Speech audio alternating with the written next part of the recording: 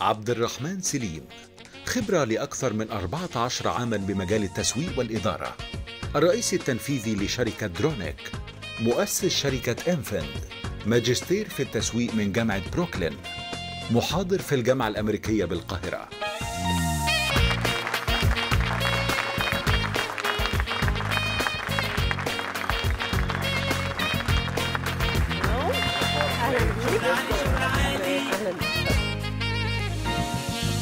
يا أهلا وسهلا. أهلا بيكي واهلا بيكم كلكم طبعا. بيكم. إحنا مبسوطين إنك معانا النهارده. وأنا أكتر. والحقيقة إنه وإحنا بنعمل أصلا البرنامج ما كناش مفكرين يعني إنه هتيجي حلقة نقول إن في مهنة كده أو وظيفة اسمها ال social media. عشان كده إحنا اسمنا شغل عالي برضه. مش كده؟ أو مش كده؟ أستاذ عبد الرحمن سليم آه، أنت بشكل شخصي والمؤسسة التي تمثلها عملتوا حالة مختلفة جدا في عالم ال social media يمكن إحنا مفتقدينها اسمها المصداقية. غالبا ال- المصداقية والسمعة الحلوة والأداء الحلو في سوق جديد وكله تحديات آه، أكيد ليها حكاية. من إمتى أنت بدأت تمتهن عالم التسويق الإلكتروني؟ آه خلينا نبدأ. آه البداية بتاعتي كانت عاملة إزاي؟ سؤال حلو جدا. أنا بدأت آه 2009 بدأت في حتة ال offline marketing عامة. الموضوع بيبدأ معانا في مجال ال marketing وال media عامة. طبعا. وبعد كده بدأت عادي جدا. events management strategy branding planning عندي ال core values وال technical في الجزء ده. وبعد كده 2011 ابتدى بقى الموضوع إيه ده social media في buzz على social media بس مش عارفين إيه القصة دي. رغم الناس بره في overseas يعني بدأوا في ال industry دي من سنين طويلة. من هنا بدأت في 2012 أتخصص أكتر وأكتر وأشتغل من نهايه 2011 بداية 2012 في ال industry وبدات معانا ساعتها في مسمى صناعة ال e-marketing كان اللي هو. التسويق الإلكتروني. ده كان الاسم ساعتها المنتشر. طبعا وكان الموضوع ساعتها كان generic شوية. ده كان بداية ال industry فأنا أخدناها من حتة كل ال landscape ك digital marketing ما كانش فيه التخصصات اللي إحنا بدأنا نتخصص فيها من 2014 و2015 إلى يومنا هذا طبعا هنتكلم عليه. لكن الموضوع اللي عايز أقوله من ال intro دي إن الموضوع مش بعيد عن مجال ال marketing معظم الناس اللي بتبدأ بالظبط هي بتبدأ للأسف ما عندهاش ال background دي فبتتعب في المجال بتاعنا شوية. كده لا بتتعب وبتتعب ال- اللي بيتعب مش عايز أقول كده مش عايز ده حقيقي. خاصة بعد الكوفيد آه، أكتر. الناس بقى عندها impressions دي في حاجة سهلة اسمها social media إن أنا أقدر أعمل online business من المكان اللي أنا فيه. آه ده تقدر طبعا. بس based on science مش based إن أنا عايز حد اسمه بتاع social media أو content أو whatever يعني الحاجة اللي إحنا بنسمعها يعني. بالظبط. يعني هو ببساطة التطور بتاع مهنة التسويق. ده حقيقي. المعروفة والمتعارف عليها وما هوش اختراع جديد. صح. لكن شكله مختلف. أنا ممكن أكد على كلامي بكلمة واحدة بس إن مم. إحنا عندنا major marketing حاجة اسمها marketing communications آه. يعني أي business في الدنيا هو two-way communication زي إحنا. وال audience اللي معانا النهارده أو بيتفرجوا علينا على الحلقة النهارده. فأنا عايز أوصل لك فبوصل لك يا إما through ال offline communication زي ال TV وال billboard ads وال magazines والحاجات اللي إحنا طول عمرنا متعودين عليها أو طلعت بقى صناعة ساعتها جديدة اسمها صناعة ال digital media. فبقى هو ده ال revolutions لل communication عشان أوصل أسرع وبطريقة دقيقة أكتر لل audience اللي أنا عايز اوصله ده باختصار شديد جدا. يعني عندي سؤال مركب شوية. حلو أخ... الأول ليه الناس محبطة من الشركات مقدمي خدمات ال social media ودي لو سألنا أي حد صاحب عمل هيقول لك أنا اتعاملت مع 10 شركات. بطريقة كده يحسسك إن الموضوع ما فيش فايدة. صح. والسؤال التاني هو الناس محبطة بس ولا كمان اللي بيقدم الخدمة هو كمان لسه متلخبط؟ ده سؤال حلو جدا. هبدأ بيه بصراحة. هو كلنا محبطين. فعلا. محبطين من بعض. كمان. جدا ده حقيقة. طيب آه، ليه؟ يعني مش مجرد بنقول كلمة ومش عارفين وراها إيه ك technical يعني. لأن المجال لما آه، بدأ في مصر ينتشر مش based على KPIs و metrics كلنا بنتحاسب عليها أو بشكل أبسط منهجية واضحة لكل المؤسسات سواء اللي بتشتغل في قطاع التدريب أو بتشتغل في قطاع تقديم ال solutions في مجال ال digital بالظبط. فاللي بيقدم ال service دي معظمها أنا عايزة دخل- بس اترجم معلش. تقديم يلا. الحلول في مجال ال digital يعني الشركة اللي بتقدم لك خدمة بالظبط. إدارة الصفحة بتاعتك. بالظبط؟ بال content بال design بالإعلانات وهكذا. فابتدى يحصل conflict في إيه؟ إن أنا وأنا بقدم لك القصة دي برضو معظم الناس مش عندها experience حقيقية واخدها من فوق. إن أنا نزلت post على ال social media عمل share و engagement وبقيت influencers and so on فبقيت أنا وخلاص أنا جامد. جدا بقى في حاجة زي دي فبعلي سقف توقعات الناس اللي بتخش ال industry مش based على science الناحية الثانية client هو برضو social media أنت هتعمل لي إعلان ب 100 جنيه هتوصلني لمبيعات sales مليون جنيه مثلا. مش عارف ال- مستحيل. مش هيحصل. آه. ويبدأ هو يشتكي لا أنا ما خدتش اللي أنا عايزه أنا بخسر أنا متضايق أنا مش حاسس شغلك. ونبدأ نخش في أحاسيس. وهو الشركة الناحية الثانية برضو مش عارف يوصل له إحنا المفروض نتعامل مع بعض إزاي. فممكن اطلع بحاجة كمان تكملة السؤال ده اللي أنا بتمناه بقى في حاجة زي دي أو شايف حل لده في حل بسيط جدا. إن إحنا لو اهتمينا بال industry دي زي الناس بره في ال Gulf مش هقول Europe أو USA لأ في ال Gulf الناس اختلفت تماما بقى في نقابات ووزارات للمجال بتاعنا. يا فالموضوع اختلف. إيه تتسمى إزاي؟ آه، ليها حاجتين. آه. البيزكس اللي هي نقابة صناعة التسويق الرقمي. آه ده باختصار شديد جدا جدا عشان الاقتصاد الرقمي. عينينا عليه مش شكرا كده؟ كله آه. digitalized تمام فلما يكون في نقابة أو في هيئة ليها rules كلنا كشركات تدريب أو بنقدم الخدمات دي طبعا كل شركة ليها منهجية مختلفة لكن على الأقل في ضوابط في ethics بنتحرك عليها في طريقة quotations معينة في طريقة شغل معين. فأنا وال client عارفين هنوصل لبعض الايه والشباب اللي هتخش في ال industry تبقى عارفة برضو التخصصات بشكل منهجي. فال environment كلها هتخلي الاقتصاد يبقى أقوى. هتخلينا كشركة مبسوط وبكبر وانت ك client أرباحك بتزيد ومبسوط. ده باختصار يعني. نرجع بقى الخطوة اللي ورا اللي إحنا. عايزين يلا. نشرحها قوي للناس. يلا بينا. إيه التخصصات؟ هو ال social media فيها تخصصات؟ أول حاجة إن إحنا عندنا umbrella من فوق بشكل بسيط اسمها صناعة ال digital marketing عامة. تحتيها مجموعة أقسام مختلفة. أول قسم هو قسم اسمه ال digital analyst أو ال analytics إن أنا بناء على الأرقام بتحرك في أي تخصص بقى بعد كده أو ايا كان. زي كده في مجال التسويق البحث التسويقي أو ال market research نفس الفكرة موجودة في مجال ال analytics. ده تحتيه بقى social media analyst و digital analytics ك websites ومواقع وهكذا. وغير التطبيقات طبعا في app analytics دي المرحلة الأولى. تحليل البيانات. بالظبط كده. البيانات بتاعت استهلاك الناس ولا المنتج ولا من إيه؟ أول ال research بتاع الصناعة وال market وأكلم إيه واحتياجات الناس إيه وبيقولوا إيه على ال social media ومشاكلهم إيه وحلولهم إيه وأسهل عليهم ال journey عندي إزاي على الموقع بتاعي على ال social media recommendations لشكل المحتوى بقى عامل إزاي؟ يعني بيسهل على كل الادارات اللي هنتكلم عليها شغلهم بشكل قوي جدا. فدي أول إدارة ومعظمنا للأسف بيغفلها طبعا وبيخش على طول على الإعلانات أو صناعة المحتوى أو الحاجات اللي هنتكلم عليها. آه، دايما. بالظبط كده. طيب أنا خلاص خلصت analytics أعمل إيه في المجال؟ أتحرك إزاي؟ آه. خلاص إحنا بنبدأ نعمل بقى branding على ال social media صح؟ فبنعمل صفحة صح؟ بنعمل website طبعا. فنبدأ بقى نظبط شكل ال page من حيث ال strategy وال planning هنزل كام post في الشهر؟ هشتغل فيسبوك ولا انستجرام ولا تويتر ولا سناب شات بحدد المنصة المناسبة اللي فيها بناء على الأرقام ال audience اللي أنا عايز أوصل لهم. طب يلا ننزل المحتوى الساعة كام؟ يعني برنامج زي ده قوي جدا. ينزل الساعة كام؟ الجمعة أحسن حاجة؟ ولا السبت؟ ينزل 8 بالليل ولا ينزل بعد الصلاة؟ ولا أحسن وسط الأسبوع؟ ف based على الأرقام إحنا بنتحرك. آه. خلاص خلصنا الجزء بقى الجميل ده. نبدأ بقى نخش بعد كده على الجزء الإيه؟ ال content نبدأ بقى نخش على ال content marketing عامة. خلاص فهمنا ال brief أنت ال objective بتاعك إيه ك brand؟ عايزة الناس تعرفنا أكتر؟ ولا عايزة الناس تعرف خدماتنا أكتر؟ ولا شركة قديمة ولا عايزة فعايزة الناس تشتري مني مثلا؟ بالظبط. ولا آه. عايزة أبيع؟ ولا عايزة إيه؟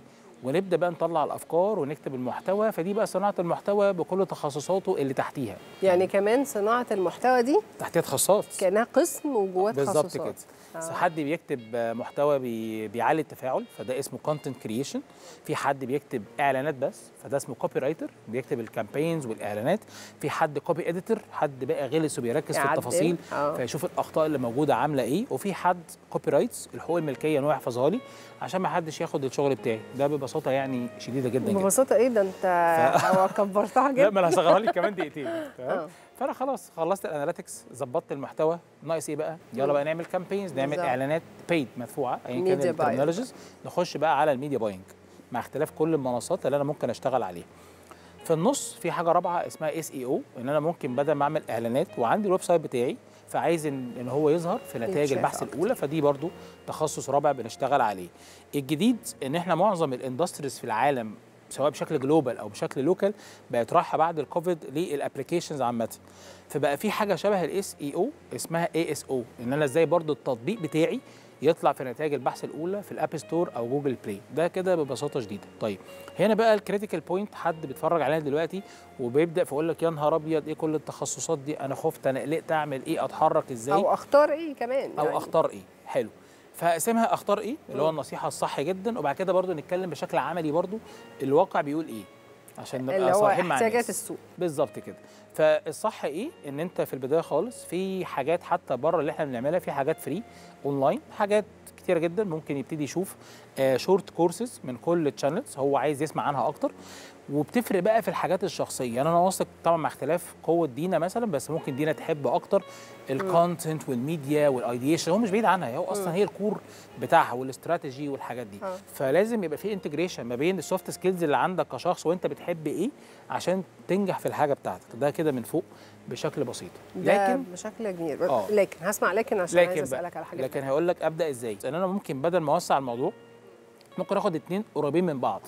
فممكن آخد ال SEO بتاع المواقع وآخد إعلانات Google Ads مثلا فهم مش بعيد عن بعض. ممكن آخد ال analytics وال planning وال strategy.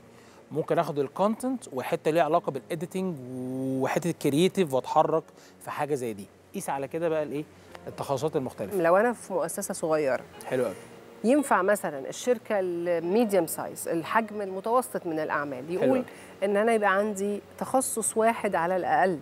بس يبقى المتخصص ده شاطر يعني حلو جدا وده يكفي إنه يحرك ال- العملية التسويقية بتاعتي الكترونيا بشكل آه كويس لأ بس. ليها حل يعني صعبة مم. بس ممكن يخلي الشخص ال- في ال small business ممكن مثلا يبدأ بالحاجة اللي تجيب له income هو عايز يكسب برضه في الآخر وهو مم. لسه small business فممكن يبدأ معاه بال content وال media buying. ويستعين ب consultant يعني حاجة بسيطة خالص. يعمل آه. مثلا planning يظبط له حاجة في ال designs في ال videos الحاجات اللي هي صعب إن هو. لكن لازم يبقى فاهم التخصصات دي بالظبط. كده. أكبر تحديات المجال بتاع التسويق الإلكتروني هو إنه الناس بتشتغل وبعدين تدرس. صح.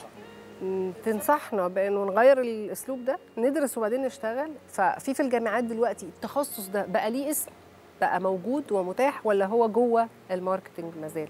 عشان نكون صراحة آه. لسه. مم. فمعظم الجامعات الكبيرة هو بيعمل لك full program اسمه مثلا marketing دبلومه مثلا. وفي جزء اسمه digital يعني بيديكي كده برضو إيه quick tips لكل قسم موجود. أنا ليه بسأل؟ لأن أنا بقول إنه دي حاجة مطلوبة جدا بس جداً ليها حل بقى؟ العمل. عارفة مين حلها؟ آه. جوجل عاملة حاجة اسمها Grow Digital آه. فدي منصة تعليمية for free بيديكي تخصص معين لمدة أربع شهور وشهادة توازي شهادة الجامعات اللي هي بالأربع سنين.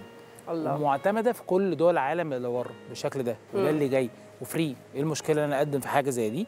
وأبدأ أتعلم ده. بس هديله نصيحة صغيرة أو ادي لها نصيحة صغيرة. قبل ما تخش في الحاجات دي لازم عندك basics of marketing يعني إيه branding يعني إيه brand management basics أبقى فاهم يعني إيه customers فلازم يتعلم marketing الأول وبعد كده يبدأ بقى ياخد الحاجات اللي شبه Grow up أو ايا كان ولو عايز يتخصص طبعا. في جهات زي اينفين دي موجودة بتدي تدي, تخصصات professional لكل تخصص موجود يعني. إلى أي مدى آه، ال social media تفرق في مصير آه، business أو توجه أو قطاع أو شركة؟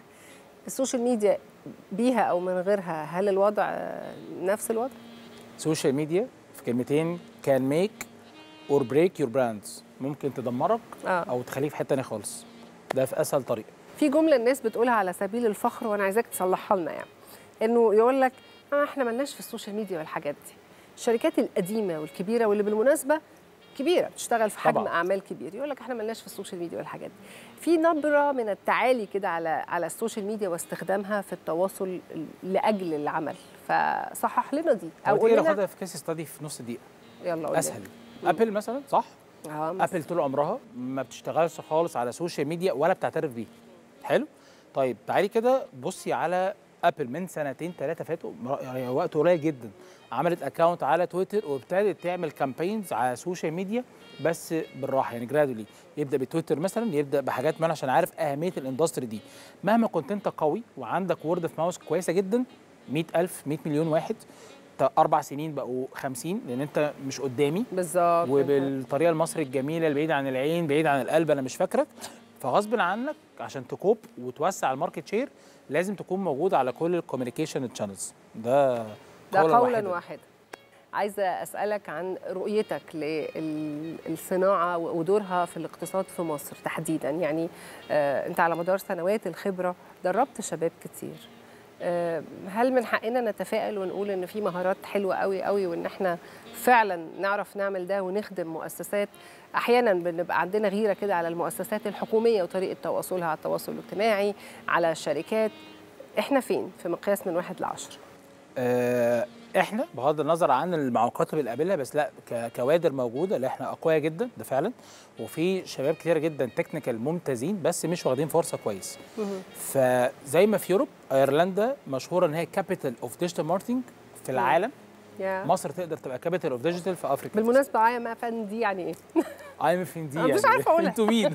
ليه ليه الاسم على فكرة ده الصعب؟ سؤال برضه ليه وجهة نظر برضه. ده؟ ليه أكيد marketing. perception إحنا اسمنا الأساسي Integrated Marketing Foundation طيب ليه integration عشان كان ساعتها لما بدأنا من 8 سنين كان في mix ما بين ال offline marketing وال- وال digital سواء كايجنسي أو اكاديمي طيب بعد كده إحنا عايزين نحجز بقى كل الايه ال digital media channels يعني www.integratedmarketingfoundation على سبيل المثال. لما عملنا research لقينا إن أنا ما أقدرش أكتب على تويتر ويوتيوب الاسم الطويل ده. هو بالنسبة آه الاسم. طويل جدا. فلازم يبقى فيه اختصار. فمن هنا بال tools بقى اللي معانا لقينا للأسف الاختصار الوحيد هو اي ام اف ان دي فعشان نعالج ده بقينا بقى نزن بقى في أي حتة بقى. IMFND اي ام ان دي اي ام ان دي حتى العد كده. اي ام ان دي شكرا ليك أستاذ عبد الرحمن إنك حقيقي من الناس اللي بتعمل شغلها بقدر كبير من الأمانة والإخلاص والرغبة فعلا في مساعدة الناس وبتعمل شغل عالي.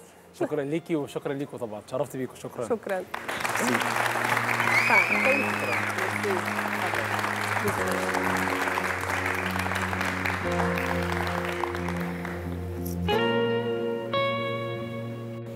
ال social media هي واحدة من الوظائف اللي جديدة على بعض الناس لكنها مهمة ومؤثرة جدا في قطاعات كتير.